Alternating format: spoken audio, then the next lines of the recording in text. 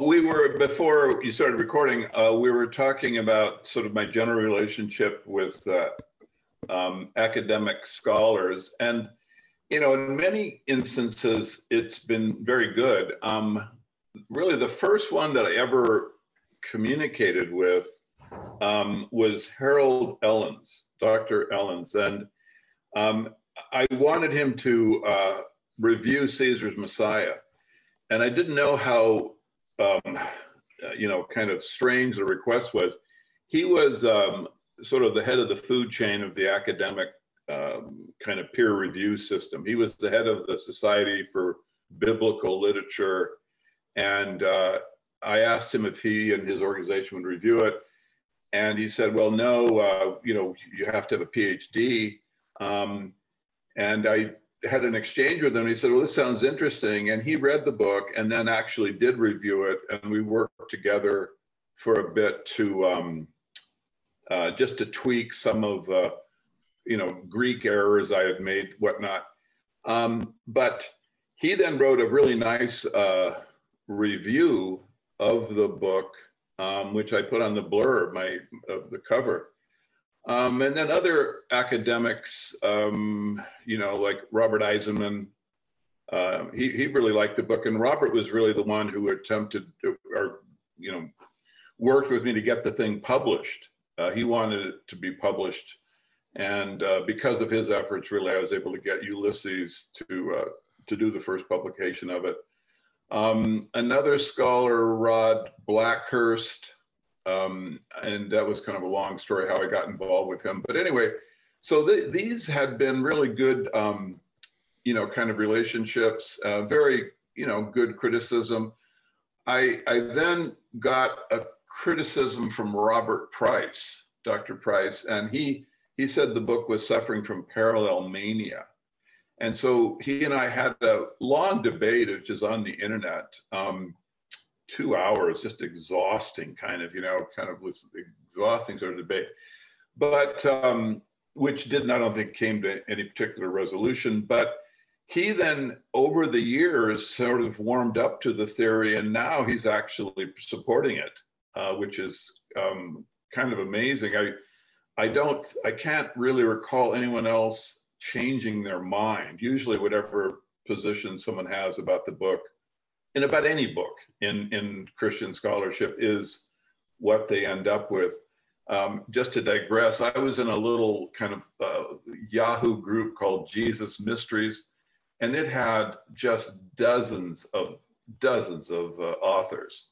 Earl Doherty was there, and we went around and around for a couple years. And then one of them, uh, really kind of insightful guy named Rod Green, he said, "You know, guys," he says, uh, this is strange. And he says, we've had thousands of exchanges among us, and I don't think anyone has changed their mind about anything.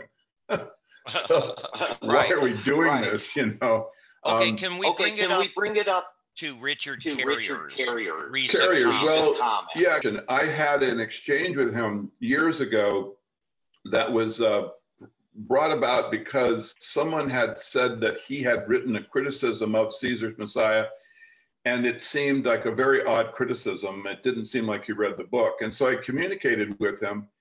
And sure enough, he said he hadn't read the book, but had an impression about it just from what he had heard. And so I said, well, don't do that. That's, you know, not a good way to critique it. Let me send you the book. And he refused to read the book. He said, give me your best example. And I said, this Richard, it's not a crazy. It's not a good idea because this is I'm I'm presenting a typological system which is you know created by sequence. It's not a good idea to try to analyze it just one at a time. And so he said, no, no, you, I, I don't have time to do anything else. Send me one example and I'll see if it's uh, if I like it. And I think I sent him two or three examples, and and then he he didn't like them as unique parallels. And so we had this long kind of, particularly about the uh, the parallel of the demons of Gadara, which he said. I mean, he, one of his claims was is that it was Gadara was too far away from the sea to have an you know like been the place of the uh, of you know of, of the the sea battle and and the uh, um, and so it couldn't be even though it's only a 40 minute walk really you know and and he also, I was trying to remember, he said, uh, well, anyway, so we had this exchange and, um, and then uh, nothing really came It was just a personal exchange between the two of us. And then when uh, I was doing a lecture in, in Britain and I was getting a lot of publicity, um, and so Richard then put out a piece uh, which, you know, had his normal, you know, like I'm a crank. Um, I think he's called me a liar, probably. Uh, he normally does. But anyway, and so I just, I wrote a response called uh, Richard Carrier, the PhD who drowned at Gadara and I and, and I pointed out that Gadara actually had a harbor on the Sea of Galilee that had been discovered in the last like 20 years or something. Richard was unaware of it.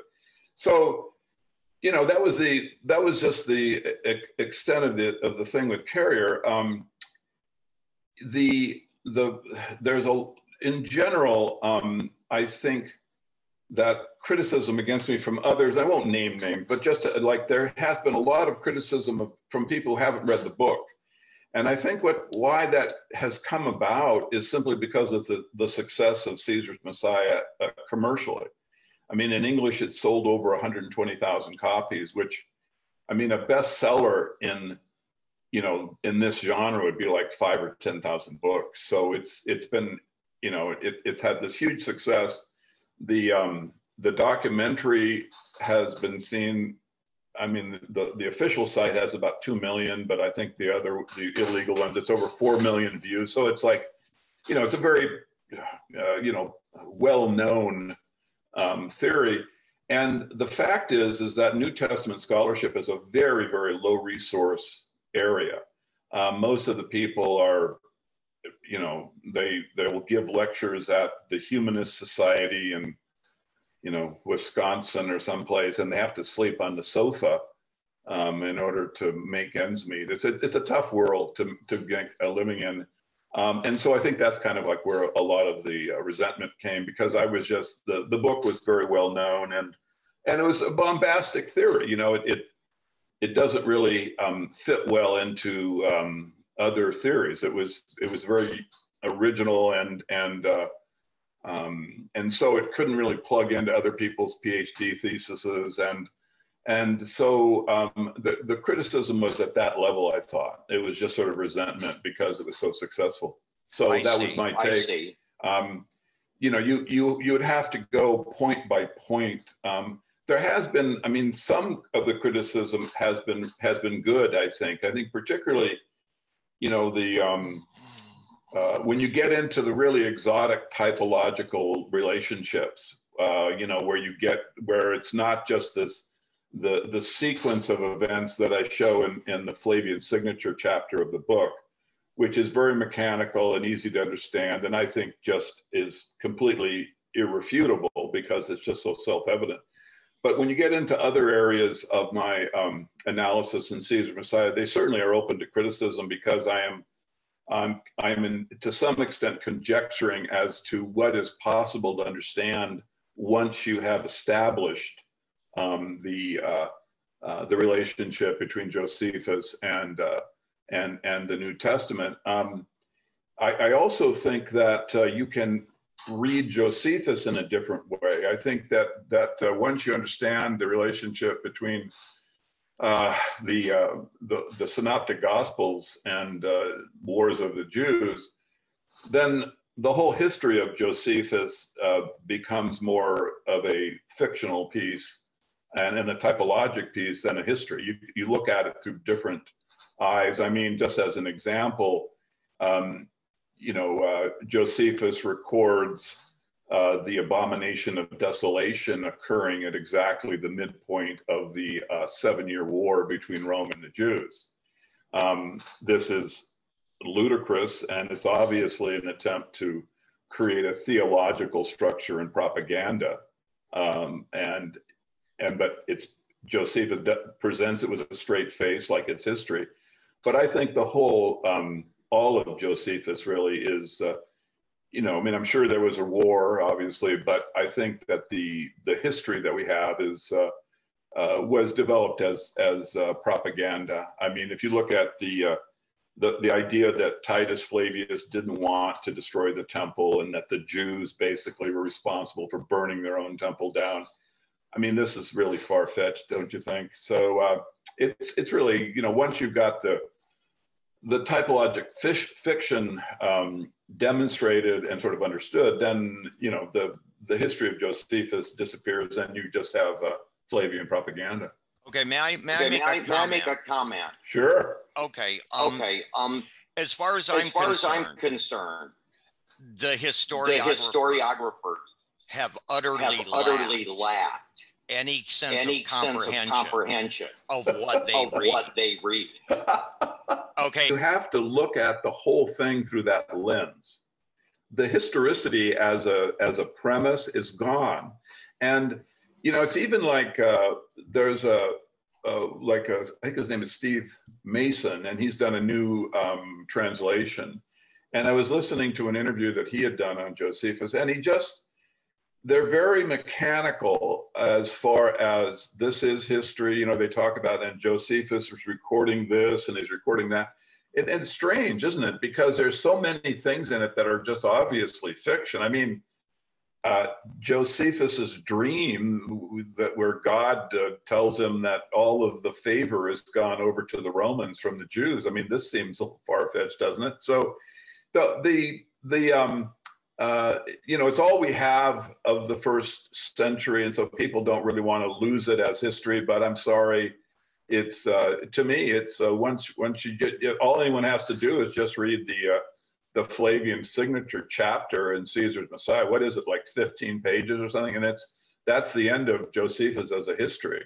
It is just a uh, a piece of propaganda that uses typology um, to you know make its subtle points about uh, the the divinity that the uh, Roman Caesars claimed.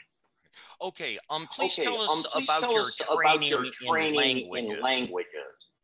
Yeah, um, very little. I um, studied uh, when I was in elementary school. I went to a a, uh, a what's called a military academy in uh, Tokyo my family was one of the first uh, non-military families, and so I went to St. Mary's Military Academy uh, for I guess the first four years, and it was very religious. The uh, the you know you had uh, Christian brothers and and other Jesuits were there as well, and so they you know the study of the Gospels was every day, and and and because I you know you had to be an altar boy, I, I learned Latin and uh, you know, we had the Latin Mass at that time, and and they insisted on you understanding it.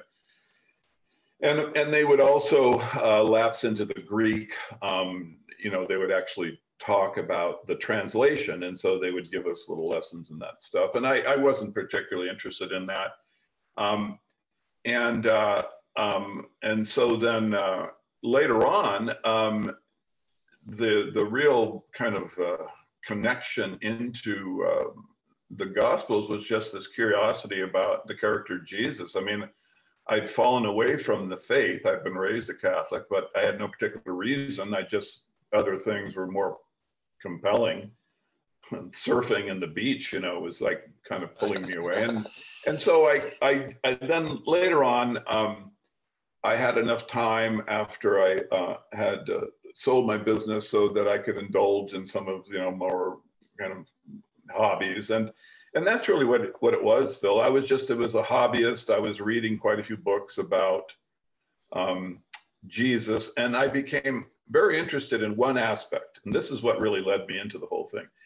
Is i i was reading um, uh, the dead sea scrolls to because they're they had this messianic movement and I simply couldn't understand why this militaristic messianic movement wasn't mentioned in the New Testament.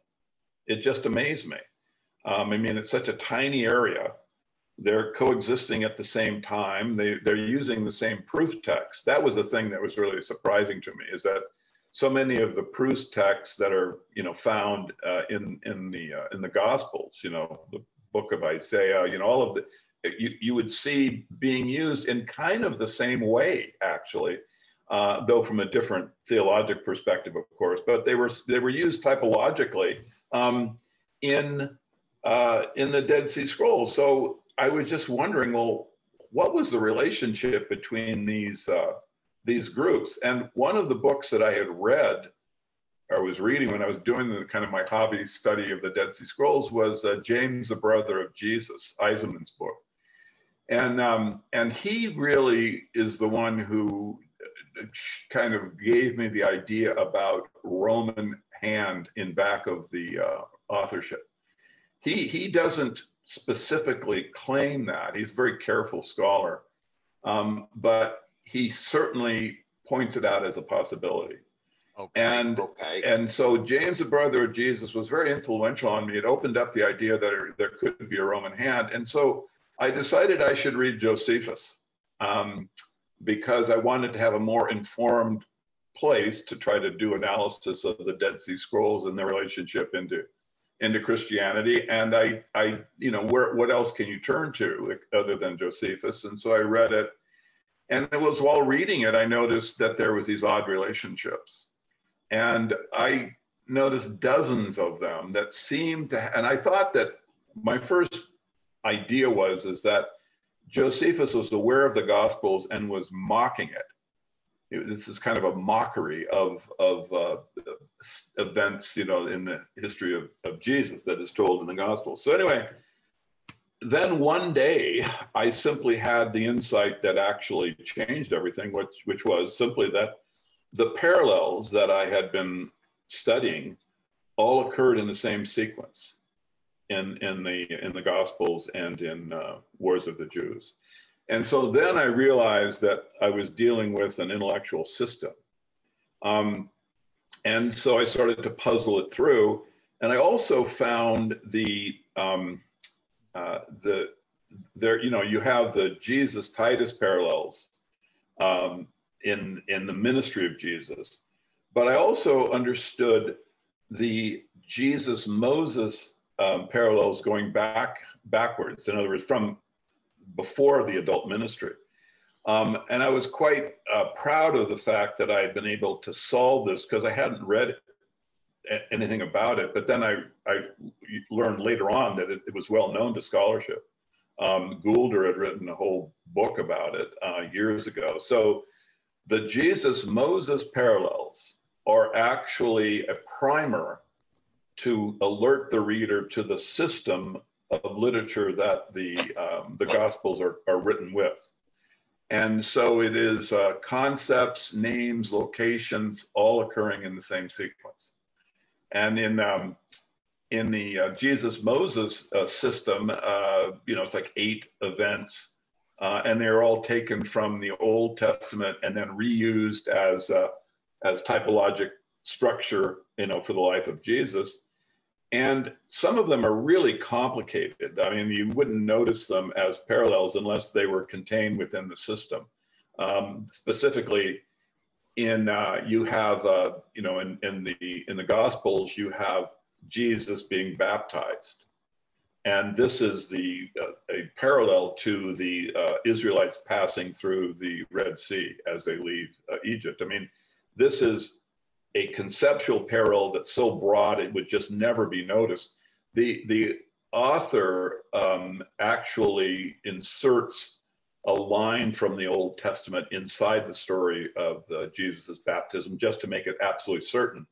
But from the event itself, you could never um, glean um, any you know kind of parallelism but once you have the sequence you can understand it and and that's really this, that sort of insight then led to you know some of the parallels uh, which I, I show in the um, uh, you know in the Flavian signature uh, chapter um, most I mean some are just completely routine I mean literally they're the same event I mean Jesus says you know I'm going to you know, he predicts the, the city of Jerusalem will be encircled with a wall. He predicts the temple is going to be raised. He says the abomination of desolation is going to happen.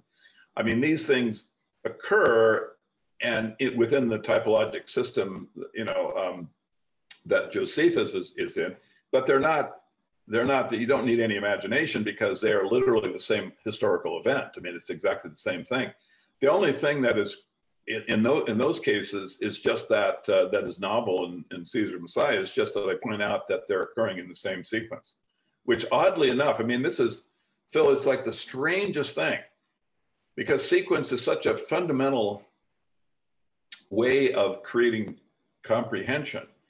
But no one had ever bothered to look at the sequence of events in, in Jesus' adult ministry and try to uh, determine if there was any meaning to it. And in fact, it's the whole key to understanding the, uh, uh, the literature is that you have to understand that the sequence is very precise and it has a specific typologic relationship to uh, the war that uh, the Flavians fought against the Jewish rebels, you know, in which the Jesus's uh, predictions come true. Okay. Um, okay. So anyway, that was um, that was kind of the you know that's the background of, of you know how I how I sort of came to the idea that I should write the book. Um, I wrote a uh, a really rough outline of the ideas and um, somehow um, I, I, published an advertisement for uh, some, and it's a, a, biblical archaeologic review. I just had a little thing saying, you know, I have an idea about the Gospels, and I wrote, I put an ad in, and so a few people bought copies of it. And one of them got to Eisenman, Robert Eisenman, and he contacted me, and um, we spent some time together. And he um, you know thought the analysis was really worthwhile and and through him I would, got the publisher and and was able to um, clean the book up a bit because Robert you know was was giving advice and uh, and then um, I got it to Harold Ellens and you know eventually got published uh, um, in uh, in the U.S. and in Germany. Um, I was able to buy the copyright back from Ulysses at a certain point, so now I own that in in English, and then I have brought out. Uh, there have been copies. There's versions of it now in French and in Spanish as well as German. So okay. Uh, um, if okay. you'll allow um, me, if you'll allow me, yeah. Um, I'd, I'd um, like to move, I'd, I'd like to move on to a few questions. Of course. Yeah. Um, okay. Can okay. you briefly, Can you briefly explain? explain uh. Uh. Oh, wait, wait a wait, second. Wait a second. Hey, I lost my I place. lost my place. Sorry. Sorry.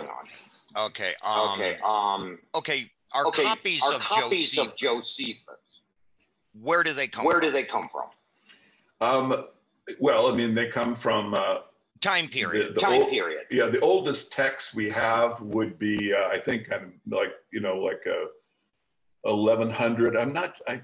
I'm, it would certainly be in the middle of uh, like the kind of Middle Ages. Um, I, and I don't know. I, I actually don't know which would be the earliest one, but they would. It would be. Uh, copies of the original that would have uh, come from, uh, you know, you know, manuscripts okay. that were okay. maybe dated into the Middle Ages. What do you think of what this? May there may have been, have an, been an, an, earlier, an earlier Aramaic, Aramaic Josephus, Josephus that then that got then adapted. got adapted. Um, would you would um, you, would think, you, that's would you think that's possible? It's not possible to disprove the idea. Oh, does our evidence does our evidence support, support Josephus, Josephus as as the, as a the, military as a military commander, commander, for instance? For instance, no. I mean, I love the. I mean, this is it's one of the things that kind of bothers me about modern, you know, sort of New Testament scholarship, particularly how they relate to Josephus. I mean, I, I think Josephus is a, it's just a nom de plume um, of a Flavian, probably not just one individual. I mean, people notice that the Greek in uh, Antiquities is different than uh, the, some of the Greek in, in Wars of the Jews, the first book. And they, you know, they say that, well, maybe Josephus got a language instructor in between the two books. I mean, it's just, but the, the idea that um, this one individual would have done the life that he claims is just very far fetched. I mean, first of all, he's Hasmonean, so he's from the royal family. Then he's a priest, and then he goes out and becomes members of all three sects. Right? He says that there were three sects: the Pharisees, Sadducees, the Essene, and I was a member of every one at, at a certain time. How um, likely, now, is, likely is that? Well, this is I think not only is it not likely, but I mean, if, if you look at the Dead Sea Scrolls, which I don't think are the Essenes per se, but they certainly are an ascetic group, there's no way you could be like going in and out of that group, you know, just arbitrarily. I mean, they, they would kill you. It's a very, very serious situation. And so, and so then he goes on, and now he he's somehow he's uh, he's friends with Nero's wife. Um, and in spite of this, when the war breaks out, they make him military leader of the rebel forces of Galilee. He gets captured, um, and there's where God talks to him and tells him, you know, uh, my favor is my covenant is now gone. The old covenant is dead. There's going to be a new covenant between me and the Romans. And um, and so then the Flavian, and then and then he tells Vespasian that he's going to be Caesar, right? He makes this prediction, which when it comes true, the Flavians say, well, he's a prophet. We, we, we need him around. He has this great connection to God. That's handy. Um, and now um, at you know then following the war uh, they give him a townhouse and they're in the imperial family they give him all of the books and the you know the, that enable him to write the, the history i mean this is ridiculous what what you have there phil is the absolutely perfect life details to be in, unimpeachable as of the historian of the war. This is what josephus life is made up of. It's all of those events that someone determined would make it impossible uh, to criticize Josephus's history as fake, you know, because he he knew he, he was on both sides. He knew every single uh, aspect of you know what the Caesars were doing, um, but he also knew he was inside all of the uh, the Messianic rebels, so he could talk about their motivations and all of these details. Um, and of course, because he's been in all of the sects of Judaism, and he he was he just he was a you know the un, unimpeachable authority in all of this. I mean, this is just ludicrous to me. Uh, I I mean, even irrespective, just forgetting the analysis of uh, you know the kind of deconstruction of the history as uh, as typology. Um, it just on its face, it just seems like it's a fake life, and um, people should look at that more carefully and, and not just robotically assume that he was a real person and this is a real history. Okay, now Josephus's, okay, teacher, teacher, Banus. Banus. Yeah. Do you, do you have any you idea have any who idea Banus, who Banus is? No. Okay, he's Pan. Okay, he's Pan. Uh, yeah, yeah. Okay, he's being okay, he's taught being taught by a by goat a man goat god. man god. okay. Okay. Yeah. Now, yeah. uh, now uh, Jotapata. Jotapata. That's one of the that's battles. one of the battles. In fact, it's in where fact, Joe, where Joe uh, he uh, he uh, he, uh, goes over to the goes Roman over to side. the Roman he side. He gets captured there. Yeah. Okay. Okay. Now I believe now I believe that Jotapata, that Jotapata is simply a is parallel simply a name parallel name that says that Jupiter. Says Jupiter.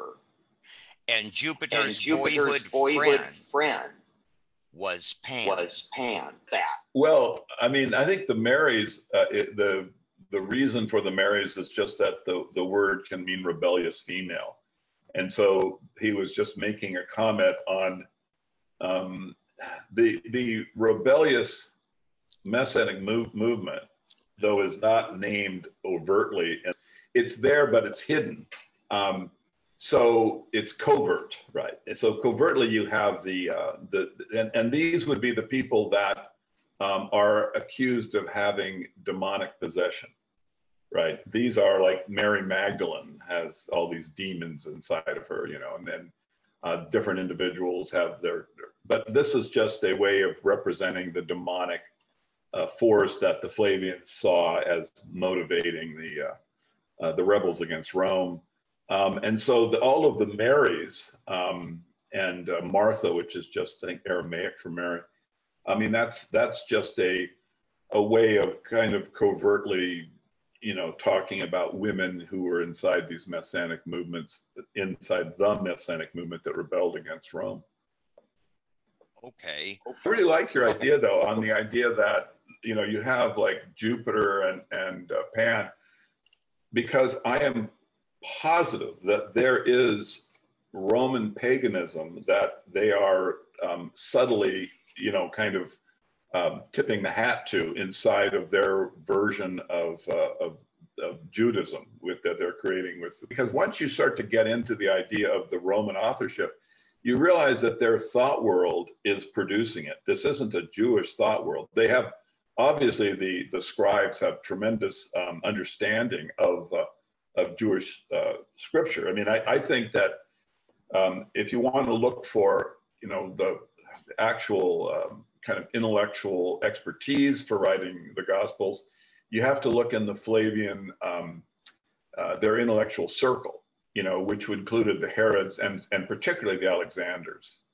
Uh, Philo uh, was the most famous Jewish intellectual of the era, uh, and he was the uncle of Tiberius Alexander, who was the Rome, the, Flavian general who fought with them. He was Tiberius Alexander was the very first um, Roman citizen, because he was a Roman citizen, to stand for the Flavians uh, replacing the Julio Claudians. And this was a real uh, brave move on Tiberius's part because uh, if he had, if they had failed, if the if the uh, Flavians had failed in their attempt to, to depose the Julio Claudians, then he would have uh, obviously met the same fate.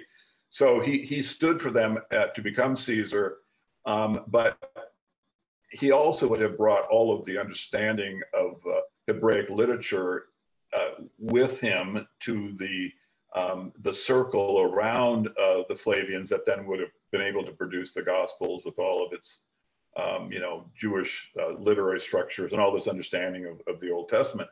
Um, so, but okay, so that that was how how it gets written. But remember, it is a Roman piece of literature, and so you get it. I mean, like there's the example of uh, the the guy who has the pitcher of water who is supposed to go and find the place where um, the uh, Passover uh, supper is going to be, you know, held, and and um, and that's obviously a, a, reference to Aquarius, you know, the right, and right. So, so so you have so when you see that, the question is is what else? So I really am anxious to uh, after we have our discussion, I'm going to start studying your idea about Jotapata and uh, Banos because I am quite interested in this, and I okay. I okay. didn't know anything about it when I was writing Caesar's Messiah, um, but I'm I'm very curious about it, and I would don't, like to don't forget, don't more. forget don't forget don't Japheth, forget Japheth,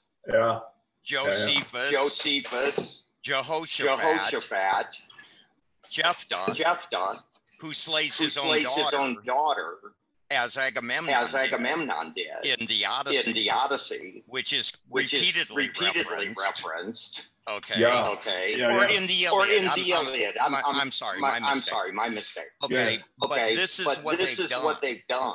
They had Yeah. They conquered, had conquered them them back in the back Old in the Testament Old. Testament times. They were already They were adopting already Jupiter. adopting Jupiter. They just called They him just Yahweh called him Yahweh because they're both because they're Lord both of the Lord air, of the air, and so it doesn't so matter. it doesn't matter. Anybody with that Anybody I with that am I am after their after title, their title, they are they Jupiter. are Jupiter. They Interesting. Equate to him. equate to him. You know, um, you have you written this up because I'd like you to send that to me. I'd love to have a, a kind of a primer so that I could like uh, not spend too much time, Excellent. you know, trying to Excellent. understand the detail. I'd like to know more about this because this is an area I'm really quite curious about. Excellent. And I, I, and I I've know I made know it's in there. I know it's there, and I just didn't have the Yeah, you know I just didn't have the background to be able to uh, decode it. It's there. It's This there. This this is this a is a a Jewish, Jewish Roman style Roman style Yeah, yeah. production. production. yeah, very unique. Yeah, very unique Yeah. thought circle, and um, and but there should definitely have been a strong astrological, um, you know, component to this that they would have put in there and made subtle remarks to it. Um, that Well, was just their Enki- style. Well, yeah. Enki, Enki is Enki in, is is, in, uh, is uh, Aquarius. Aquarius, for Yeah. instance, for instance, and he's the and goat he's fish. the goatfish. So they So they can't they, they interpret, can't the, interpret the symbols. symbols. Okay, is their okay, problem? is their problem. Valiant, Valiant republished, republished uh, the uh, symbols the according symbols according to, uh, to uh, Clement of Clement Alexandria. of Alexandria. Fish. They don't understand. They understand don't anything understand they anything they have, and I do. and I do. Go- Okay, so Okay, that's so that's I mean, this is this is very it's be very useful information to get Okay. about. Excellent. All right. Excellent. Um, All right. Let me ask um, you about. Let me ask you about the rue. The rue. The, oh yeah, the rue. The name for rue. Name for Alexander. Because it is. Because uh, it is uh, uh, mandrake. Uh, mandrake. Mandracos. Yeah. That Menander that River. Menander River. Yeah. You are there in. You are there in the book. You're right at You're Lake right Tritonis. at Lake Tritonis. In, in Josephus, you have this just far-reaching typologic story um, using kind of literary construction devices that uh, have been used very few times, if ever. Um, and, and they tell the story of Eleazar, who was, uh, in my opinion, the actual uh, Jewish Messiah that the Romans captured on the Mount of Olives.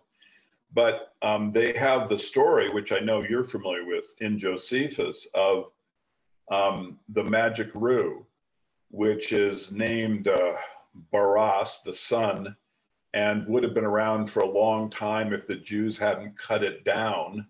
Um, and and this is related. That story is related to an event that occurs on the Mount of Olives. In in Josephus's version of the Mount of Olives capture, um, you have the individual comes from uh, you know a, an esteemed family, meaning the the messianic lineage. Uh, you know, you'd have to read that in, but this is what it means. But he is captured by Pedanius, a Roman soldier, in a way that's just impossible. He rides along and picks him up, and then and then carries him away.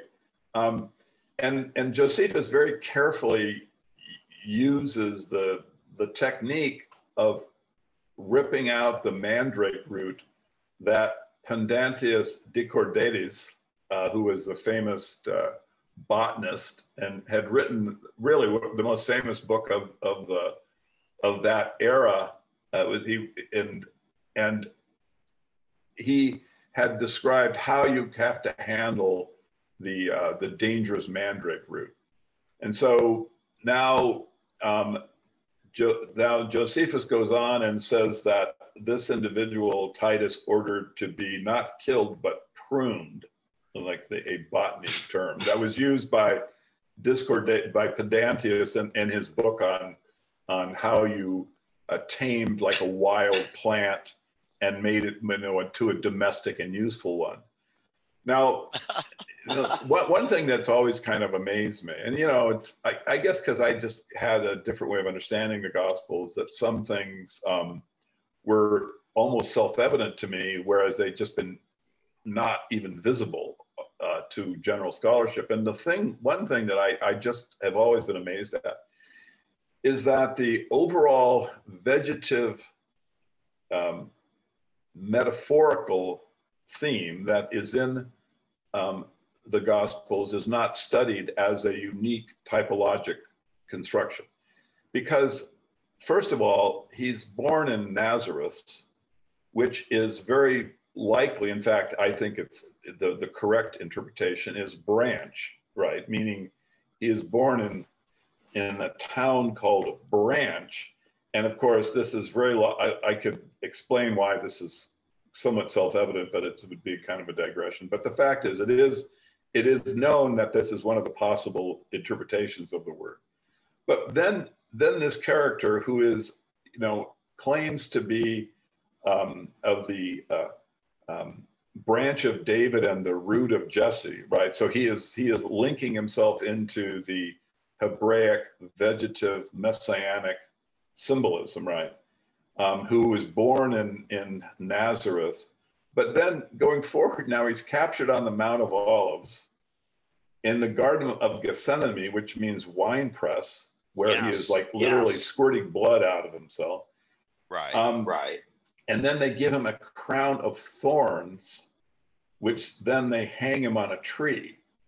Well, this is a vegetative construction that's from tip to stern. And so it is relating to the um, Hebraic messianic vegetative symbolism relating to the Messiah. It's obvious, but somehow modern scholarship doesn't look at this as a construction and they take these different aspects as though they're historical. The crown of thorns, the capture on the Mount of Olives, the the guard the, the garden meaning wine press, the fact that he was born in Nazareth, and then he gets hung on the tree. But um, it's it is not uh, history. This is just a they are shaping their character uh, into the um, uh, the Hebraic messianic vegetative symbolism. So they are building upon that symbolism in the exact same way, Phil, that they build on the, um, the, the stories in the Old Testament, which they reuse as, as events from Jesus's life, because this is how they are linking him into the Hebraic literature. They are trying to shape the Hebraic literature uh, into a story which ends up uh, in a good place for the Roman Empire. That's right. Even know Jews the Greek know the Greek myth. Yeah, I mean, I'm sorry, I'm eating a. I've had right. bronchitis. I had a really bad bout of bronchitis in my throat. It's still weak, so I have to constantly put these lozenges in. I'm not being rude. I'm just trying to keep the voice working. Um, well, mythicism, which Richard Carrier is part of, is um, you know it's un, un, you cannot disprove it. It's not falsifiable, um, but it doesn't really. It's not as a theory particularly strong because there's no archaeologic evidence. You have to amend the text of different, you know, scripture scriptural stuff if you want to even get the the stuff that they use as the um, the the original um, movement that kind of morphs into Christianity going forward. Most of these guys, and I and I don't, I'm not really that familiar with Carrier's work, but um, like there there have been different mythicists who who posit that there was like a a, a, version of Christianity that, for example, that created Q, this this theoretical construction of Q, and so there was this uh, group of Jews that were, you know, had, had literature. They they thought that there was a Messiah who was, you know, what becomes the the character of Jesus Christ. I mean, it just seems silly to me. I mean, the the question is, how do we explain the literature that we have in front of us? And to me, there's one place to go, and that is the war. The war is where you get your understanding of this literature, the Roman Jewish war. Jesus is predicting events from the war. This cannot be disputed. Um, and then the other thing, which is another just head scratching moment for me, whenever I, I mean, now you, you have the the old covenant, you know, with with its Passover to start it off, and then the 40 years of wandering, and then the uh, the occupation of the promised land of Israel, right? So you have this this construction that that forms the basis of the old covenant, right? The story of, of Moses and you know how how the old covenant is established. Well, the New Testament has a Passover lamb, and you can they they put in enough detail so you can work out that it was 33, Passover 33, that the, the new uh, covenant's Passover lamb is, gets slaughtered. And then, of course, in Acts, you even have the Pentecost show up, you know, so they you can right, see they're, right. they're very deliberately inside the system of, mm. of like mirroring the old, the Old Testament's uh, uh, cycle. But now you go forward and the war uh, the Roman Jewish War ends on Passover 73. So it is a perfect 40 year cycle between the human Passover lamb that starts it off and the day that Rome gets this is when Masada falls and Rome gets possession of all of Israel. Well, this is ludicrous and can only be created through back calculation, right? So you you actually are you're concretely concretely showing that the ministry of Jesus is, is fiction with this little arithmetical insight.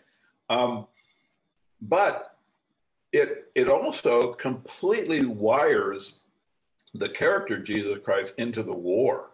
This is really where where the this thought world is created. It's in the war. It's back calculated going back 40 years from the war.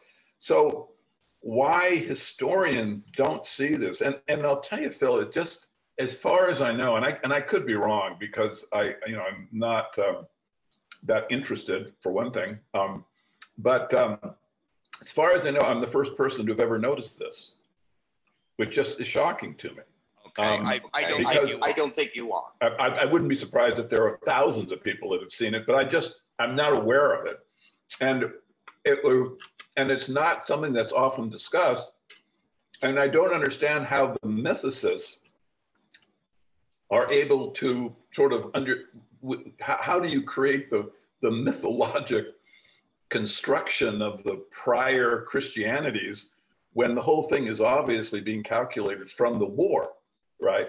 The war is really what is driving the literature, giving you the thought world that you can have the, have the these stories come out of.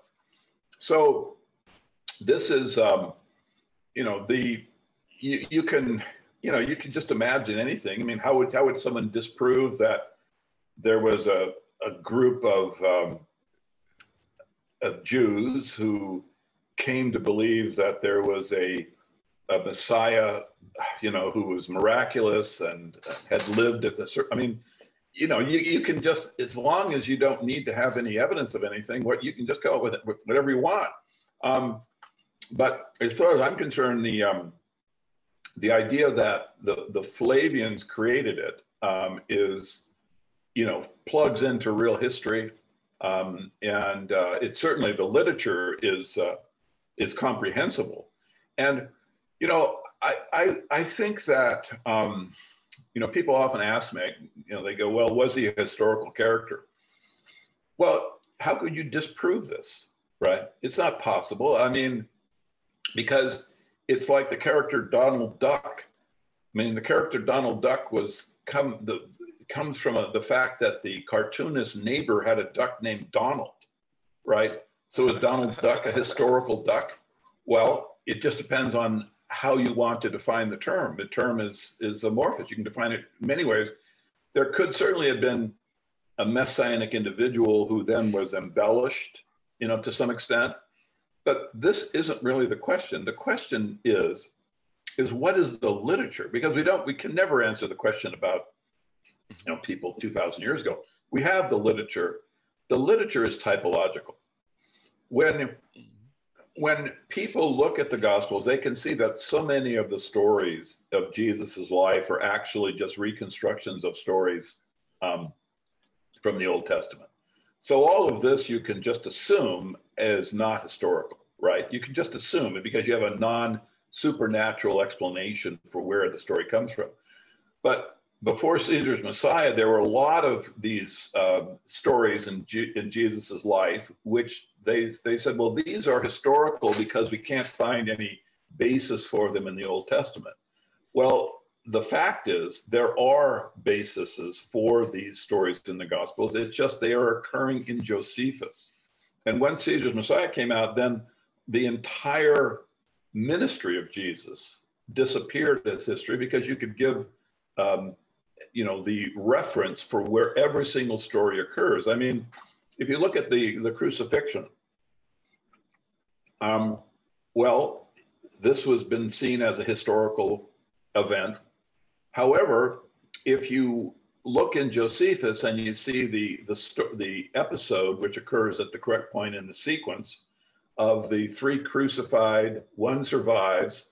The guy who takes him down from the cross is not Joseph of Arimathea, but he's Joseph Bar Matthias, right? So you have a play, you have this play on, you have this play on words, you know, that's obvious, but it just that that story in Josephus, Phil, just, I mean, it's like once you've seen it, you you don't have the idea that the story in the Gospels is history. It's not a strong idea because you go, well, this looks like the basis for the story. I mean, it certainly is related to it, and therefore it's this is a non-supernatural explanation as to where in the heck the story comes from. But my point is is that it all disappears. Every single you know the you know the uh, uh, the, the, the the conclusion where he uh, he's he, he says simon's going to have uh, you know a death to glorify god and john is going to be spared. Um, Well, that's just a recreation of the uh, the capturing of Simon and John, the rebel leaders, where then Simon goes off and uh, they crucify him. They take him to Rome, give where he doesn't want to go, and give him a death, glorify God. And John, they they give life imprisonment to. They spare him, and so once once you've kind of got the sequence, the sequence is really the key. Once you have the sequence, um, then you can just plug it all in, and, and the whole historical thing of Jesus Christ disappears. And what's interesting is is that a lot of the of the of the parallels I show are either they're just historical, they're the same thing, like the encircling with the wall, or other scholars have talked about it. I mean, like there have been scholars that have written about the parallels of binding and loosening loosening stories, of the one in that Jesus talks about it, and the binding and loosening of uh, Josephus, right? Because they, the, there's so many of the words are reused in both stories. Um, um, so uh, in in the, the little what the conclusion where they have Simon being taken to you know given a, death to glorify God, Eisenman noticed that he wrote about it in James, brother of Jesus, and he goes, "Gee," he goes, "This is strange." She goes, "Look, uh, the, the, both Simons are are leaders of messianic movements." They're both captured uh, and they're both taken to Rome and are, you know, given a death to glorify God. He, and Eisenman wrote, how many of these people were there? and I mean, he had a good point.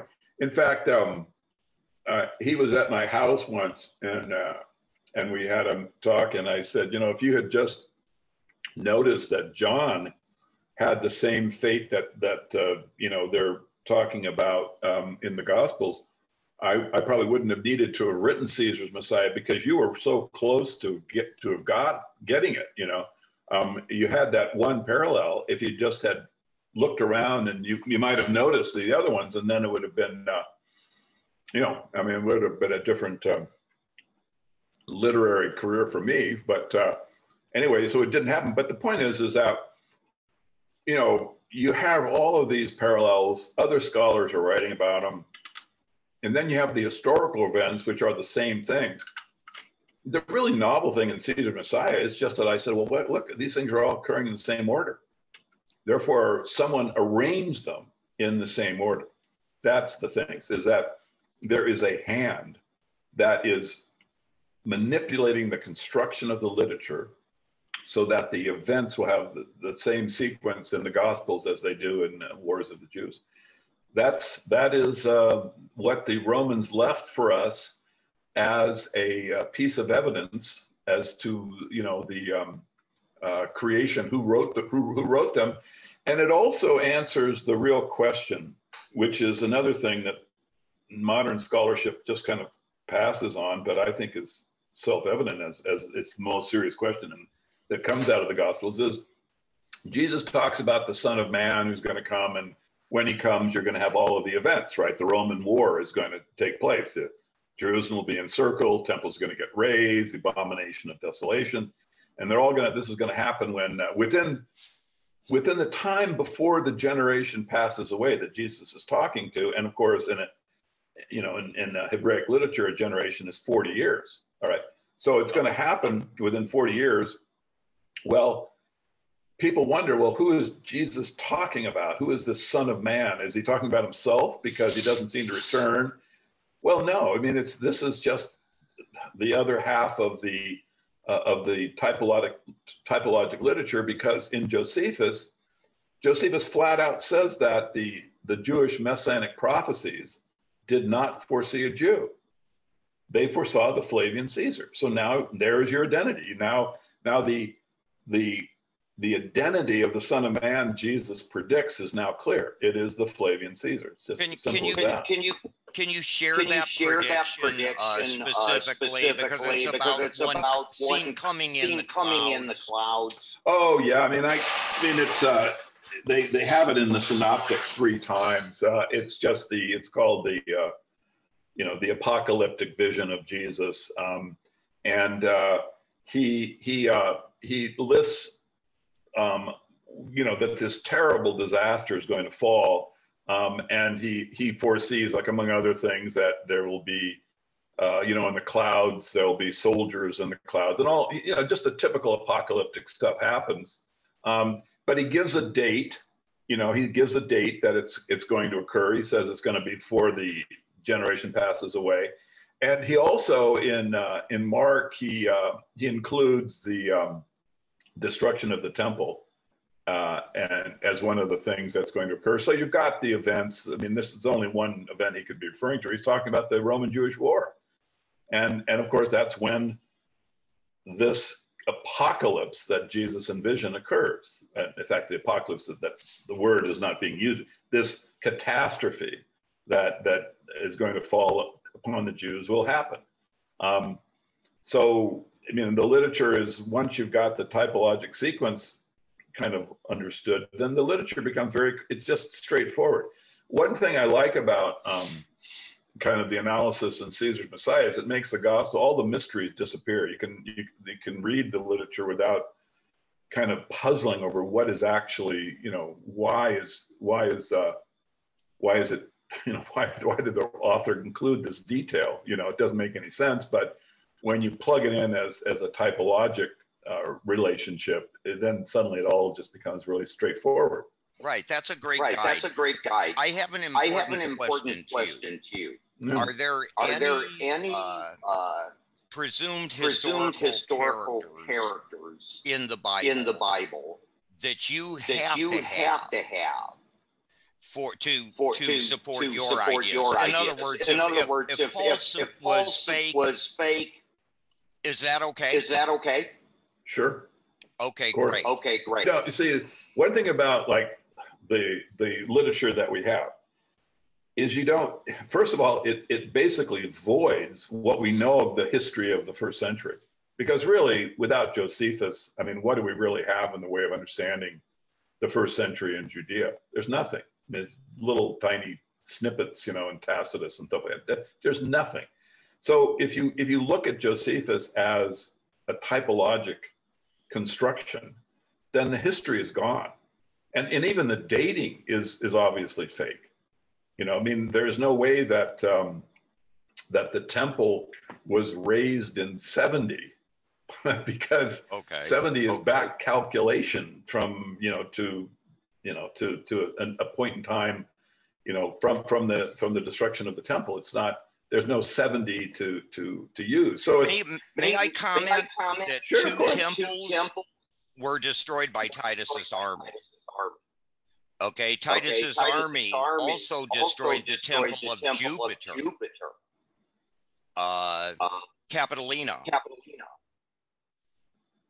really, I didn't Yeah, know that. I- yeah, I didn't- okay, so what so I think what I they're think doing they're doing is opening is a opening world a religion, world religion, saying you can saying you forget can the forget Roman the version. Roman version. You can forget You the can Jewish forget the version. Jewish version. We got the We got the international. international version. okay, that's yeah, what that's, I prob- think. That's that, what that's very logical because I'm sure they had, um, you know, broad-based plans for Christianity. The the immediate political purpose, I think, was just to tone down the Messianic movement. But I, I really don't think. I'm well. And incidentally, people say, well, you know, it didn't work very well, did it? You know, there was a con, there was the Bar Kokhba rebellion. The, well, they didn't really think they could convert zealots with this literature. They're really just trying to stop the missionary activity. Josephus mentions, you know, one of his one of his ideas is that there's this missionary activity, and the Romans are worried that this brand of Messianic Judaism will get out, and you could have rebellions everywhere. And so I think that um, Christianity was just a way the the the Roman version was just a it was a what Christianity was in the like from the beginning of the second century was just a an aspect of the imperial cult wherein they would preach to Jews about uh, a pacifistic pro-Roman Messiah um, as a way to uh, not have the kind of Messiah that is mentioned in the Dead Sea Scrolls become popular with the um, with the, the the Jews who were throughout the empire. They, there's different estimates as to how many and where they all were, but there was it was a very large population, maybe 10, 15 percent of the people in the Roman Empire were Jewish. So they didn't want this to just spread everywhere, um, which in fact uh, it ended up it, it happening. I mean, the Kitos Rebellion was just a bloodbath. Um, the Jews took over, it was Cyprus and genocided all quarter million Gentiles. They wrote, they drove the Romans out of Egypt, for heaven's sakes. I mean, this was the Kitos Rebellion. And then, of course, the Bar Kokhba is just, you know, well known as a as an absolute bloodbath. The Romans lost, you know, all sorts of uh, men in that in that struggle. So, this um, the messianic aspect of uh, the Jewish, you know, kind of um, rebellion was something that they were, I think, trying to trying to head off with the Gospels. But I, I would say that really wasn't. I mean, the, I think you're right. That really what they were actually looking long term was they wanted a, a broad-based religion, and um, and they also wanted to create legacy. I mean, the I think the real driving force of the typology is just the vanity of the of the Caesars. Um, one little kind of interesting historical bonbon that a lot of people are not aware of is, you know, um, you have the Vatican, and uh, it has the uh, that enormous uh, square that has an obelisk in the middle of it, uh, in front of the, uh, yes. yeah. the Vatican Palace. Well, that is actually the literal Flavian Circus, which they would have their um, you know their chariot races and whatnot in. So you you you have a situation where the Pontifex Maximus, which was a title that the Flavians held, right? They were they were the head of the Roman College of Priests, and they were known as the Pontifex Maximus. And they have their their you know their circle with the obelisk right in the middle of it. I mean, this is how ludicrous the um, the the kind of failure to link the Flavians into Christianity has been, because they they didn't even bother to move. They just or changed the titles. The Pontifex Maximus just set up shop. Um, for one day he was the Roman Caesar, and the next day he was the Pope. Amazing. Explain your methods as best you as can, best in, you your can in your own words and why they and differ. why they why differ. they differ. Why they differ. Oh gosh, um, the the um, the main uh, I think sort of the, the, to have the insights that to, led to Caesar Messiah was just uh, I didn't have any of uh, the incorrect academic training. Um, I I was most focused on the religion um, as as a child, you know, and I think that kind of curiosity and and lack of uh, of prejudice. Um, when I have debates, and I often do with like uh, Christian scholars, they're just so certain about everything, you know. Um, and of course, the, the academics are the same way, particularly once they write a book. I mean, then it's they're they're ossified, you know. But I, I really wasn't like that when I started my. I was just curious, and um, I think that's just a better platform because we didn't have we had not had a really satisfying explanation. I think the one of the reasons why the the Caesar Messiah book is so popular is that is that even if it's incorrect, it's very satisfying. In other words, it is you know it is kind of a tip to stern uh, explanation of all the literature. You don't have big gaps of like, well, we don't know what this means, and that could have been you know. Uh, um, you know, kind of uh, like someone could have uh, like put that into the literature years later. It was, a, you know, an addition that someone. They have all these different I mean, I just take the literature as is. I don't I don't change a single word. If I say, look, it, it's pretty much like they wrote it. Um, Vaticanus, where you know, which is a you know the oldest version we have, looks uh, like it's probably to me it looks like it would have been the stuff that Constantine would have come up with, um, and um, and so we we just have this literature and we can make sense of the literature, and and that's I think, kind of all we can do uh, in terms of history. They, the idea of looking backwards and using this literature as a way to find the history, I, I think this is far fetched. I mean, this is literally um, as far fetched as believing in the miracles. You know, believing right. that you can. Well, the mythicists, well, the say, say themselves, themselves, they're, they're, they're saying they're that it, there is mythological, mythological contamination, contamination, throughout this. Throughout this. Yeah. Okay, and well, then they never try to interpret it. Yeah, I mean the mythicists. I, I just don't know how far they can really go with this idea because even though it's not falsifiable. There just isn't any sort of evidence that can really. I mean, you can you can construct really nice sort of logical kind of you know ideas about it about how there could have been another group we don't know about. I mean, but when once you're at well, there's a group there's no evidence of, and it was producing this literature in just the right way that it ends up in the Gospels. I mean, this is far fetched, right? Just off the bat, because you don't have like, well, where's the evidence of this group? It, the group doesn't make any sense historically because this is a time when there was rebellion against Rome. Why would there have been, you know, a pacifist pro-Roman group? Uh, you know, kind of. I mean, there, Phil, there was a a pro-Roman group, but it was the Herodian Sanhedrin. I mean, it was the the Roman.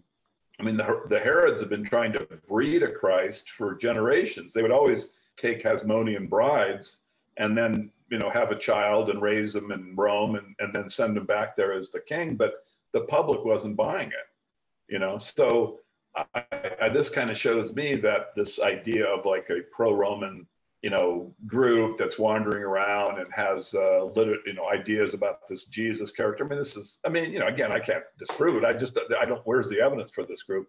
Um, so it's, uh, I mean, uh, mythicists will, um, uh, you know, I, I, I just wish them well. I mean, I, I don't think they're going to get very far with their, I don't get much further than they have. And um, they'll have, they won't really have much impact on Christianity itself. Okay. Um, okay. Because what, what can you do with the, you know, ideas about a, a group that there's no evidence of, no real physical evidence. I mean, the Christians will always just, they'll look at things um, like that as uh, you know kind of irrelevant.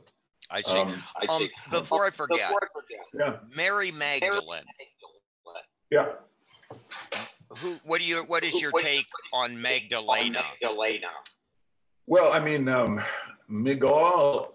I, I think it's. Uh, you know, she would would have been one of the females um, uh, at you know around the Sea of Galilee um, that uh, you know this is actually linking into um, the, the, the the symbolic theme of the fish. The fish is a very important symbolic. Um, Agreed. Theme, Agreed. You know, in in the Gospels, and and so she is just the introduction of that. Um, but you know remember she's a stick figure you know they have these fantasies about her marrying jesus and all this stuff but i mean right there's what like right. three three or four lines or something i mean where are you getting yeah. all this from it's imagine yeah. imagination I, I liked her I, I when, liked she her was when damn gal yeah. She, she is actually an ishtar yeah i i actually you know i i think if you want to go deeper i like your approach honestly i would like to see more of the analysis of the characters coming from the perspective of a Roman astrological and a Roman pagan thought world. Because that's something, yeah. I mean, in my opinion, it's a weakness in Caesar's Messiah. I didn't really, I didn't have the background to be able to do that kind of analysis. And I was more, I mean, in, in fact, like, there's a lot of typologic linkage in there that I saw that I didn't record uh, in the book because it was too abstract. And I thought, nah, I just don't leave the, this is going to be tough enough to defend as it is. So it's just what you have in Caesar's Messiah is just a stripped down version of, of the whole typologic system. And it's just there to, con- to show people it exists. That's really all, my only hope with the book is to show that the system does exist. Um, right. Um, and, I accept um, that it does. No, thank you. Yeah, I, I, I, I wholeheartedly, wholeheartedly endorse, endorse uh, Mr. Uh, Atwill's Mr. methods methods. Well, that's I'm glad, and and I think it's been a um, you know it's gonna it's been a useful book for people to get a uh, I think a clear understanding of Christianity. But I will say that it is just a first step, um, and I am often people are saying, well, you know, you didn't explain this or that. And yeah, there is probably 95% of the of the depth that these uh, wordsmiths were able to create in terms of literature um, that is not really, you know, brought out in Caesar's Messiah. And I think it might be a um, kind of a productive era going forward if the book becomes really kind of widely understood in the academic world, because I really, I would love to go through, I mean, with the understanding with the interpretive framework of this is this this literature is coming from the Roman thought world. Therefore, we're going to have the mystery religions. We're going to have uh, astrology. We're going to have other, you know, like historical characters like Julius Caesar. You know, could be popping. I mean, let's look at let's look at the literature like that. Um, I wanted to just mention like, uh, so people say, well, where, you know, is there any like where is the archaeologic evidence, you know, of this relationship, you know, into the imperial court, you know, like why didn't they why didn't they tell us about it? Well, of course, you know, they were trying to establish a religion. It wouldn't be very good to give away the the punchline, you know, um, before people had become, uh, you know, had had become uh, converts, and then the Dark Ages had been set up with uh, the, you know, the feudal system. Right. But I've, I've always thought like one one thing that really makes the kind of the relationship clear is just Constantine's um, uh, his his uh, you know his his grave. Um, his he he uh, set up his tomb in a in a church, and then brought in the um, icons, physical uh, relics of all of the twelve apostles, and then put these relics in a circle around his tomb. So in other words, he's giving you a clue as to who Jesus is, isn't he? You know. So right, this right. this I thought was well, you know, it, it again the um, the the ideas and in Caesar Messiah plug really well into history, and um, so it's um, you know it's been an interesting experience having having brought the book out and having it become uh, you know well known. Um, but I hope I uh, uh, you know will be able to see uh, your work, Philip, when you bring it out, because oh, I, am well, actually well, I'm a little I'm a little more interested to tell you that the current let's, at, let's at, take Paul at this let's point. I'm more Paul. interested I'm more interested in the new uh, new insights and the because okay. I've, I've been okay. dealing with mine for so many years. So let's take Paul. Let's take Paul. Yeah. All right. All right. Uh, Saul. Saul.